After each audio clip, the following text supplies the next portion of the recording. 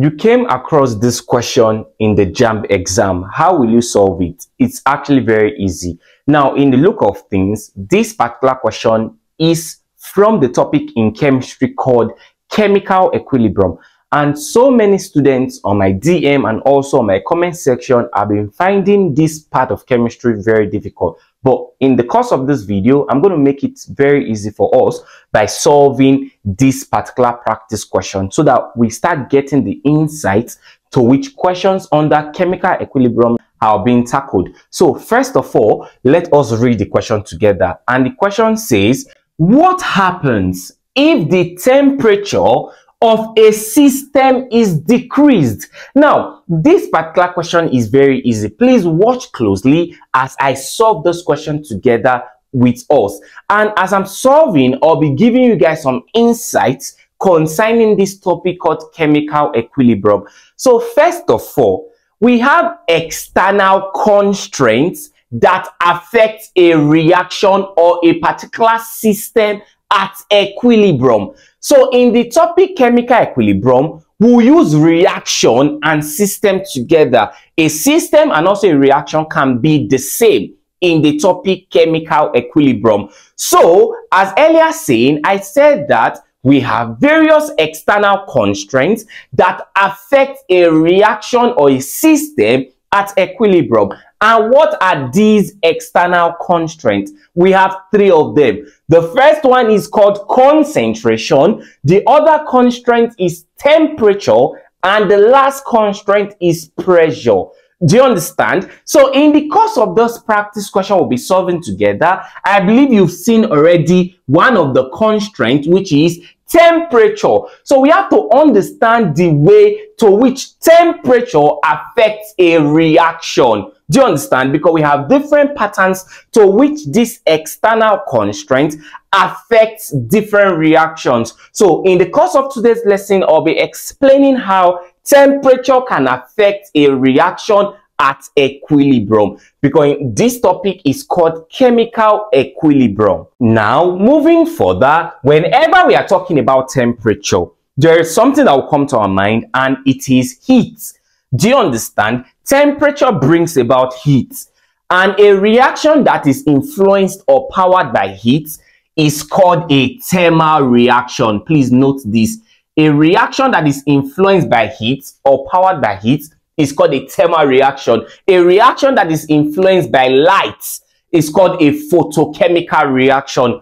Photosynthesis is a good example of a photochemical reaction. Do you understand? So this thermal reaction we are talking about, which basically is influenced by heat and what brought about the heat, temperature, can be of two types. We have endothermic reactions and also we have exothermic reaction. Do you understand? We have endothermic and also exothermic reaction. And there is something that we need to know to know if a reaction will be endothermic or exothermic. And that is called delta H. And that is called what? Delta H. Delta H is simply called change in enthalpy. Delta H is called what? Change in enthalpy. This delta is change and H is enthalpy. Enthalpy can also be regarded to be called heat because enthalpy is the heat content of a reaction. Do you understand? And whenever we're talking about heat, we should be talking about these two types of reaction, endothermic and also exothermic reaction. Now, this must be noted. For an endothermic reaction, and also for an exothermic reaction, they have their respective signs to which we will know them. For an endothermic reaction, delta H should be positive. For an exothermic reaction, delta H should be negative. I believe you are following. So after we've successfully understand this concept to which you can actually know an endo and, and also an exothermic reaction, let's get back to our question. And the question says, what happens if the temperature of a system or a reaction is decreased? we'll come to this word decrease. We have to understand what that means. But now let's understand this reaction first of all. Should this reaction be endothermic or exothermic? Please comment down before I provide the answer to this particular question I just asked. It's actually very easy. It is exothermic reaction because delta H here was negative. And this you are seeing as kj slash mole means kilojoule slash means per, so it's kilojoule per moles. Do you understand? So that's for that. So we've seen now that this reaction is exothermic. So knowing this will help us solve this question. Now, moving further, in solving questions under this topic, you'll be hearing the word, or if you are studying, you'll be seeing the word equilibrium position shifts to the right, equilibrium position shifts to the left. Now, what does this mean? Please note, whenever you see in a reaction and they said that the equilibrium position of that particular reaction shifts to the right, it implies two things. And also, if the equilibrium position of that reaction shifts to the left, it implies two things also. So whenever the equilibrium position of a reaction shifts to the right, it means that the forward reaction of that particular system is favored and more of the product is formed. Now, this is what I mean. This is a reaction this is the forward reaction and also this is the backward reaction. And as well, this is the product side of the reaction and also this is the reactant side of the reaction.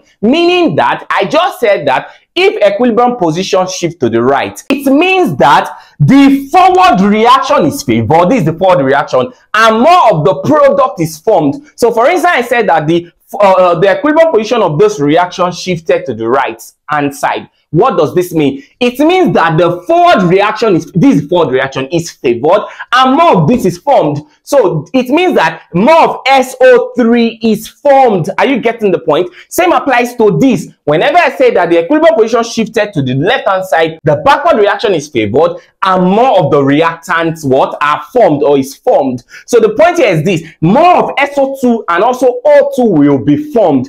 That is what it means when a reaction or the equilibrium position of the reaction shifts to the left hand side. Do you understand the point? So this alone will help us in this aspect. Before we now understand what the word decrease means to actually answer this question without stress, it's actually very easy. Now, with all this said, I believe you now understand the overview to which all of this concept works. So let's actually use apply what they asked in this question. They were dealing with temperature and also they mentioned decreased. It's actually very easy. Please note. Please note. And what did we say this reaction was? This reaction is it an endothermic or an exothermic reaction? It is an exothermic reaction. So please note this. But before I explain for exo, I have to explain for an endothermic reaction. So please note, for an endothermic reaction, for an endothermic reaction, your delta H should be positive. Whenever you increase temperature in an endothermic reaction, here, temperature was decreased. But I'm explaining, whenever you increase temperature for an endothermic reaction, your forward reaction is favored. Meaning that in this context, more of SO3 will be formed. But if you decrease temperature for this same endothermic reaction, okay, it's going to be the reverse. Meaning that more of your reactant or more of your backward, your backward reaction will be favored. Meaning that more of your reactant will be formed okay because we explained the overview to which this works so this is an endothermic reaction i repeat for an endothermic reaction, if you increase temperature, increase in temperature favors your forward, favors the product same. But if you decrease temperature, it favors your backward and favors the reactants. Do you understand? So that's how it works. Do you understand? So that's for an endothermic reaction. Now let's go over to exo. Please bear this in mind. For exothermic reaction, all what I've said for endo, it is the direct opposite. Do you understand? For an exothermic reaction. So for exothermic reaction in this context, if we, if we increase temperature, it will favor what? Because I said for endo, if you increase temperature, it favors your product. But here is the opposite. If you increase temperature, it favors your backward. Do you understand? If you increase temperature for exothermic reaction, it favors the backward. And if you decrease temperature, favors the forward. So the question now is, what happens if the temperature of a system is decreased?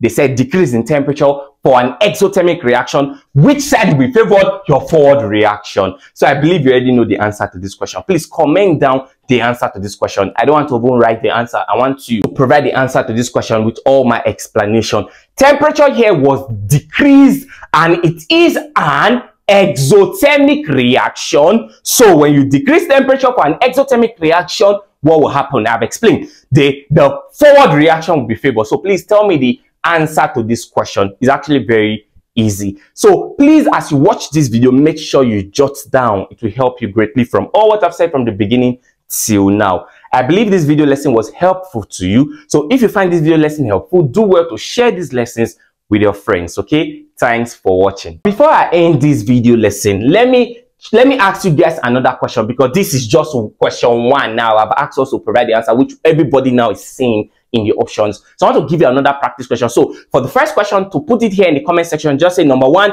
you write what is favored, if it's forward or backward. And the second one to give you now, let's say it was positive, okay? And now it is increased. So please, this is the second question I've asked. So provide the answer to this question as well. Okay, so tell me number one, the answer, number two, the answer. So thanks for watching.